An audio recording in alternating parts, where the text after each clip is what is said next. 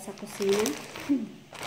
So, gagawa tayo ng, magmamarinate tayo ng grilled Greek chicken. So, gagamitin natin ang mahiwagang yogurt na pangpalambot ng karne, ng meat. So, dito is 1 half cup. So, halo natin to. So, ito yung chicken uh, drumstick ang ginamit ko instead of gagamitin sana natin is um, chicken breast. Kaya lang sabi ni Amo gagamitin namin ang drumstick. So yan so yan. Ang ingredients natin is uh, lemon yung juice niya 1 fourth olive oil, 1 fourth.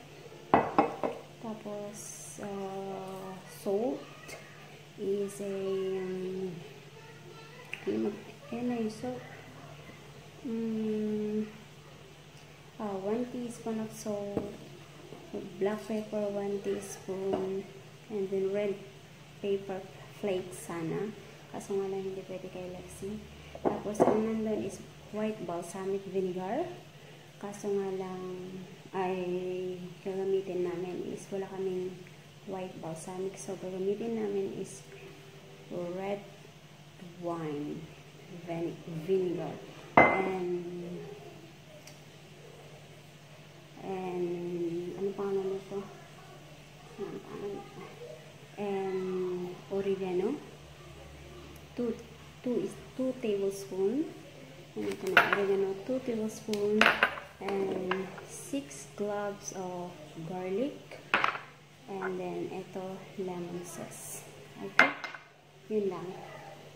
So yan. Marinate na natin. I-marinate natin ito ng overnight para mas masarap. So kailangan natin ng spoon para sukatin lahat okay yan so ayan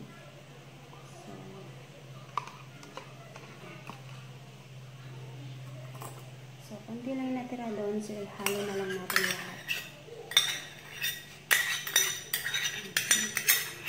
Para malambot yung ating ano, para bukas, i-grill natin. Kasi may grill kami. May grill. Pumili sa amin ng grillings. Pag-grill. So, yan. Okay, then. Tapos, lagay natin yung oregano. lemon zest.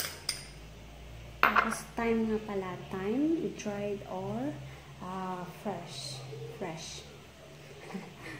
Nabubulol tayo. Fresh na uh, thyme. So, ito is 1 tablespoon din. Lagyan na natin. And then, salt.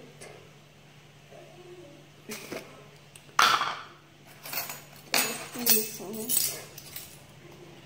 Ito. Salt. So, ayan, black pepper. Susukatin natin yung black pepper. 1 teaspoon din na black pepper.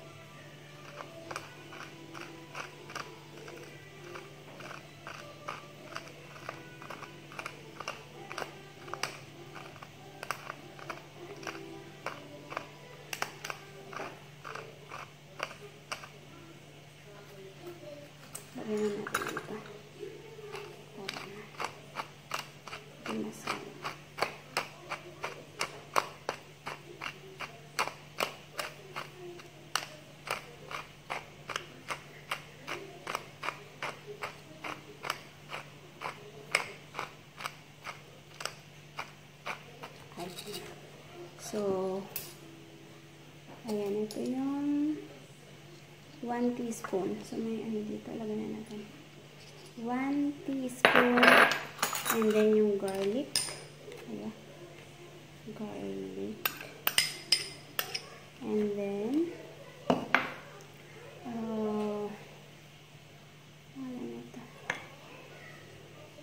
olive oil, 1 fourth cup.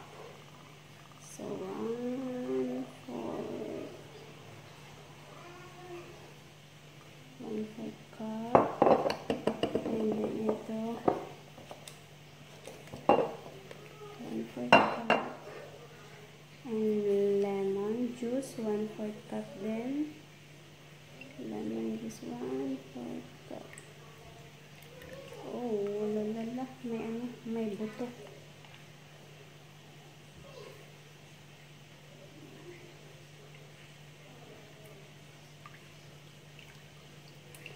Huwag kang pumunta.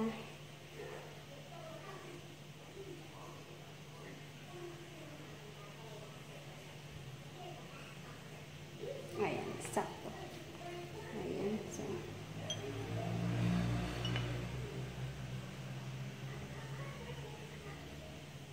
Huwag na. And then, yung white balsamic, pero ang gagamitin natin yan, sabi ko, red wine. Uh, red wine vinegar. So, ano to?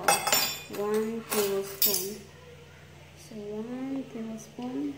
Ayan. Ayan. So, ayan.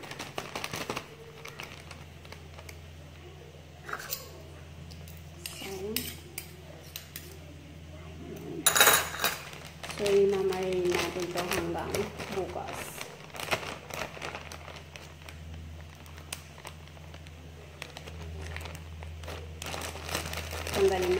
Air. Ay, para hindi lumobo.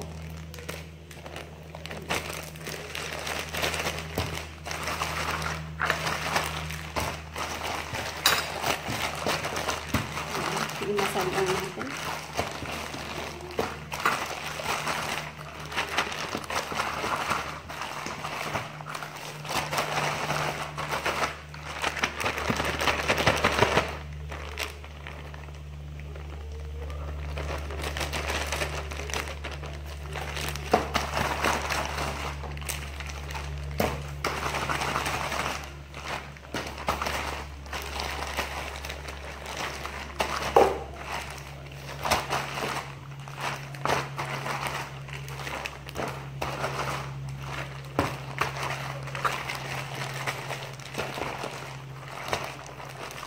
Ayan.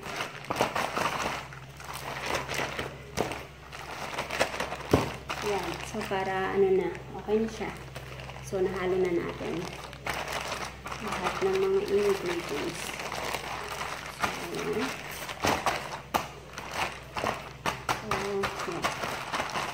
I-flatten natin siya. Papalagay natin ang fritz. Dapat flat siya. Para yung marinade. Nandun tapos, i-ano mo siya. Kinabukasan. Or, kung may oras naman kayo mamayang gabi, bago kayo matulog. So, bye! Pakita ako. Say, Ayan na yung Greek chicken. Ayan na yung Greek chicken na ginawa natin kahapon. Ah, Hindi ko na pinakita kasi nilagay ko lang naman sa, sa ano, ah, sa grilled.